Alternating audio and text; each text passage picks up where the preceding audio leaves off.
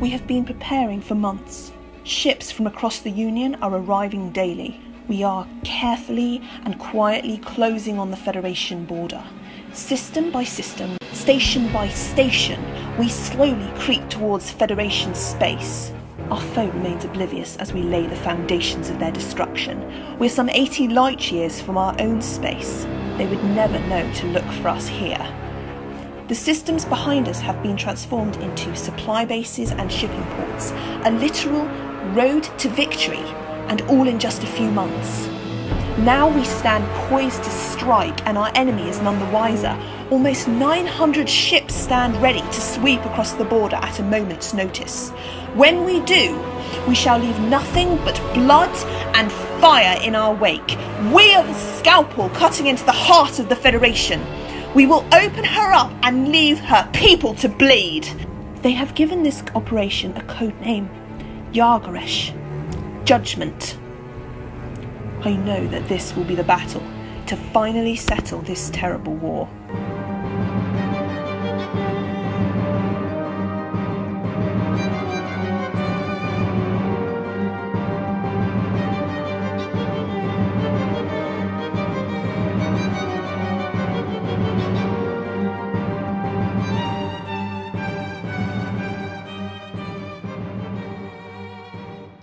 After their defeat in Operation Return, four months of Dominion gains were undone in under a fortnight, with the Dominion being driven back to the edge of Cardassian territory, the front line extending from the Black Cluster across the McAllister Nebula, the Badlands, and the Volterra Nebula, all the way to the Talarian border.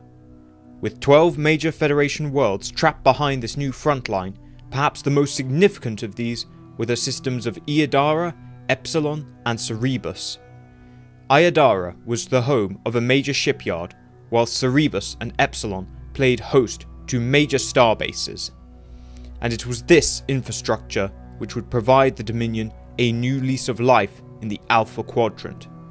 That May, Vorta planners undertook an assessment of the previous offensive to ascertain what went wrong and how the Federation had been able to so quickly take the initiative.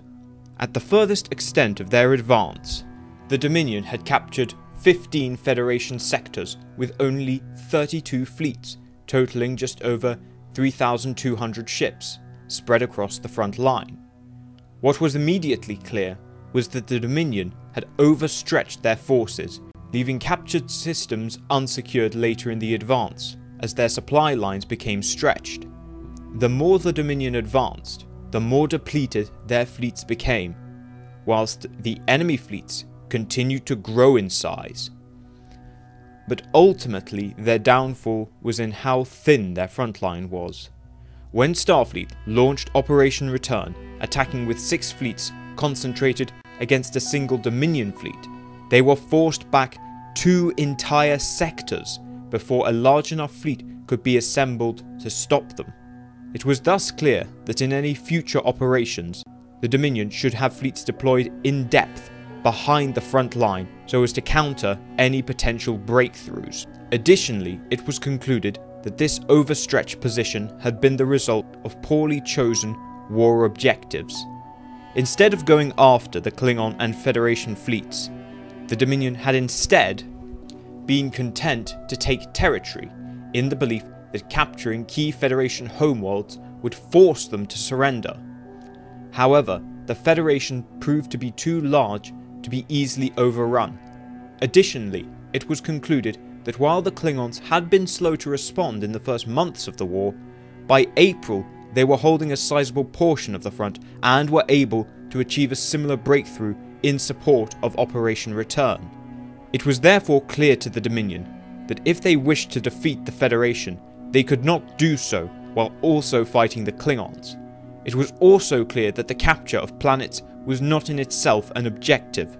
Rather, their objective should be the destruction of enemy fleets, as doing so would degrade Starfleet's ability to counterattack or maneuver, giving more tactical options to both the Jem'Hadar and Cardassian fleets. Another key factor was that the Dominion had been forced to attack well before they were ready. With Starfleet mining the wormhole, it forced the Dominion's hand and forced them to start the war well before they were ready, and this meant that they had far fewer Jem'Hadar than were needed, frequently forcing the Vorta to rely on their Cardassian allies for support. Now with no hope for reinforcements from the Gamma Quadrant, the Dominion began to set up their own infrastructure in Cardassian and occupied Federation space to rebuild their numbers for the next phase of the war. Between May and October, the Dominion assembled five Cardassian and three new Jem'Hadar fleets, increasing their total to 2,800 ships. Yet of these, only 1,600 were deployed to the border. The rest were held back in preparation for an ambitious new offensive. This plan was developed jointly by Legate Macet and Vorta Liana, codenamed Operation Shadabesh, Shadowboxing. This was the overall plan for an ambitious deception by the Dominion. This itself was split into two separate operations. Operation Rishkatar would take place on the northern flank of the Federation and would involve the deployment of four raiding fleets, both Cardassian and Jem'Hadar. Not only would these raiding fleets interdict and disrupt Starfleet logistics, they would lead Starfleet to believe that a major offensive was imminent on that front, forcing them to redeploy forces from other areas of the line. This was all in service of the true offensive. On the far side of Federation space, rather than attack the front line directly, Macet and Liana proposed to outflank the front line by way of the Kalandra sector.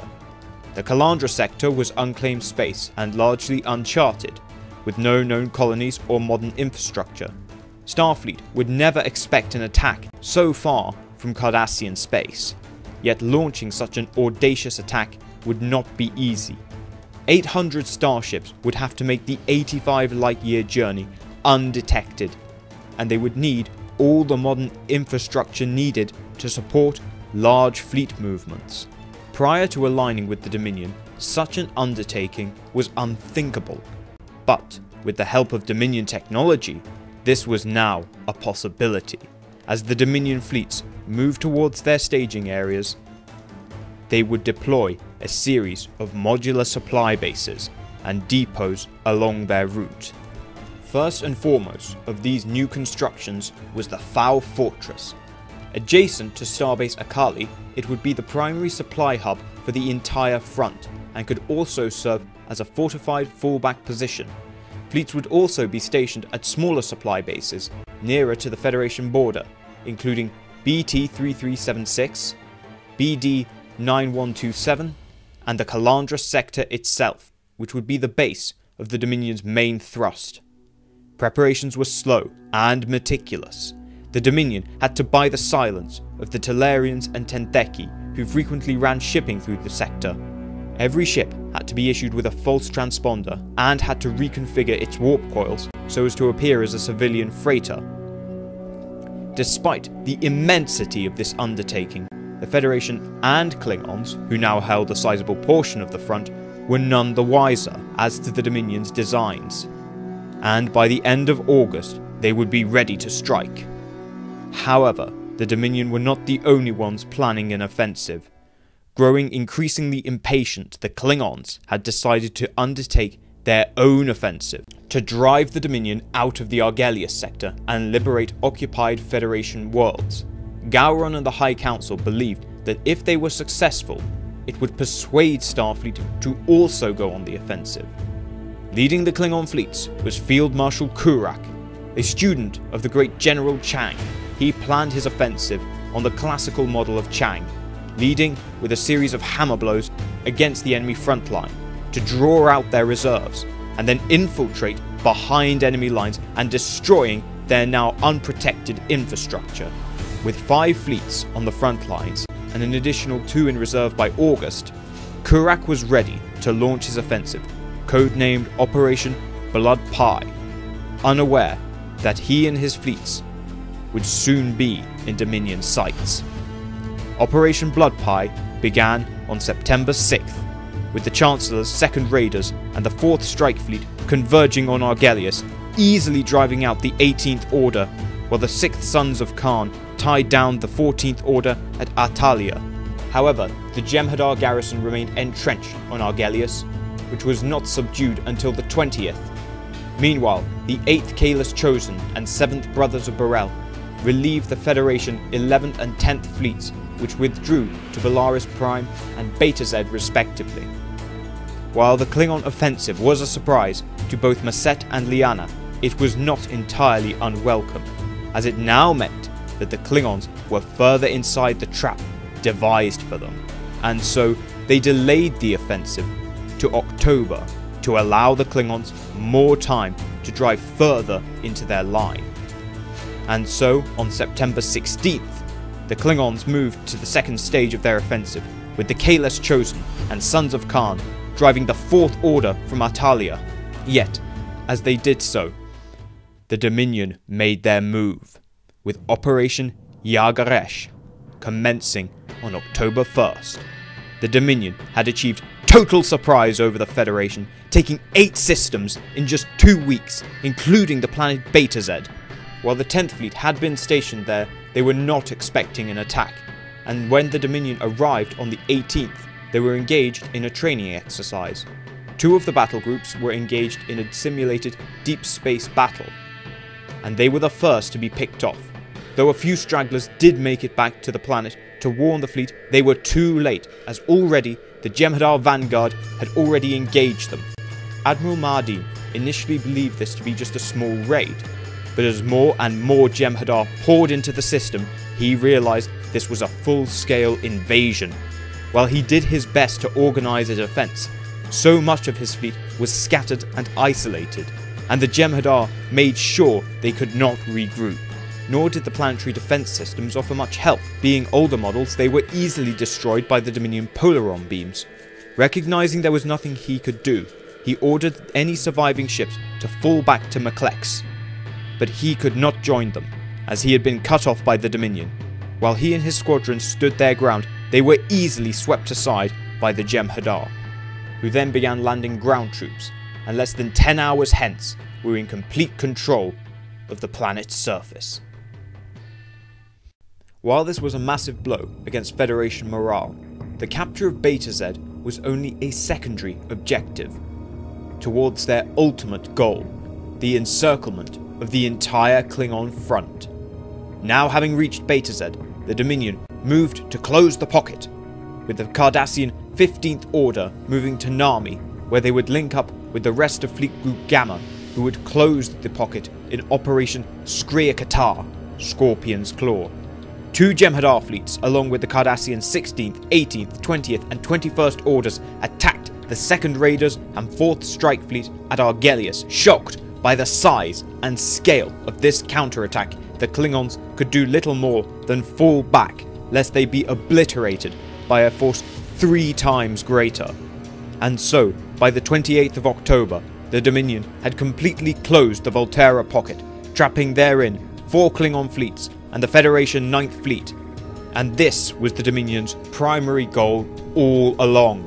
By encircling and destroying the Klingon fleet, Macet and Liana believed that it may well force the Klingons out of the war altogether, or at the very least, it would destroy the Klingons' ability to mount any meaningful offensives in the near future. Having achieved their goal of trapping a large portion of the Klingon fleet, Macet and Liana were authorized by the Founder to proceed with Phase 2 of the plan, carving an ever larger chunk out of the Federation. On the 8th of November, the Cardassian 18th Order, along with two Jem'Hadar fleets, take Oceanius, outflanking the Federation line, with no one opposing them. The Jem'Hadar advance further to Kataria and B'Elanna, by the 16th threatening to once again surround the Federation line. Meanwhile, the Dominion sets about destroying the fleet trapped in the Volterra pocket, destroying the 9th Fleet at New Helena. And as November turned to December, the Dominion continues its sweeping advance, with the Federation spread too thinly to counter their maneuvers. On December 5th, a Jem'Hadar fleet and the Cardassian 21st Order drove the 11th Fleet out of Macus, securing their exposed flanks, while the Jem'Hadar reached Ramatis and were now within striking range of Benzar. Fortunately for the Federation, by December 6th, the newly formed 16th Fleet mustered around Benzar, and two Klingon fleets were moving into position on either flank, and were less than a sector away at Archon and Hali. But they would not arrive in time, as on the 22nd, the Dominion attacked Benzar, with the Jem'Hadar fleet engaging the 16th Fleet head on, whilst elements from the neighbouring Jem'Hadar fleet and Cardassian 18th Order attacked their flanks. Isolated with his nearest help still some time away, Admiral Fulner was forced to fall back to Regulus, surrendering yet another homeworld to the Dominion's relentless advance. In only three months, Macet and Liana had taken 23 Federation worlds, swept across eight sectors, destroying some 300 enemy ships in the process, and unlike their last offensive, the Dominion line was supported in depth, with 12 fleets across the entire front. And so, even as Starfleet reinforcements arrived, liberating these worlds would not be an easy undertaking. They would not enjoy the fruits of surprise and maneuver as the Dominion had. The road to liberation would be a long one, soaked in blood, something that President Rosarev acknowledged in a speech that he made on the 31st of December 2374. My fellow Federation citizens, this morning I spoke with the Chief of Staff and he has confirmed to me that the Dominion has taken control of Benzar. My thoughts today are with the people of that cherished world and all Benzites across the Federation. But let me assure you, our fight is far from over.